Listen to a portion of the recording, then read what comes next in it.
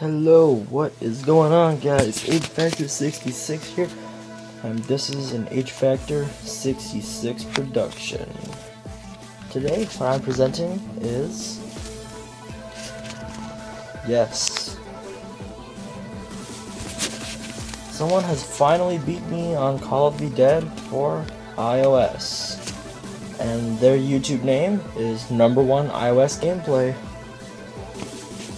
So I just wanted to give them a quick shout out for beating me. I did have to take a closer examination at their round number because they recorded this with a camera, but yes, that does say 146 on closer examination. So I just wanted to congratulate number one iOS gameplay for successfully beating my Call of the Dead iOS world record round. I have no idea whether or not he is still going, but what I've what I know is that he is a new YouTuber. He doesn't have a whole lot of subs or views, so if you want to go check him out to see his future content and what he's going to do in the future, go check out his channel. There'll be a link in the description to number one iOS gameplays channel below. And this screenshot is directly from number one iOS gameplays video, which is basically where I got this. So yes.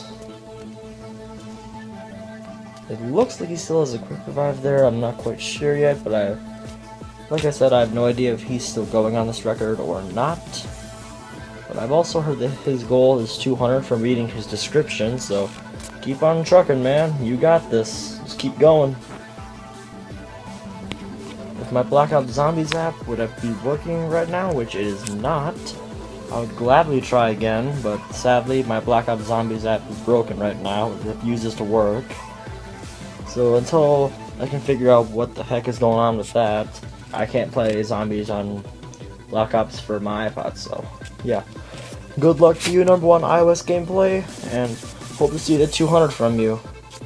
And in all honesty, congratulations. H Factor 66 out.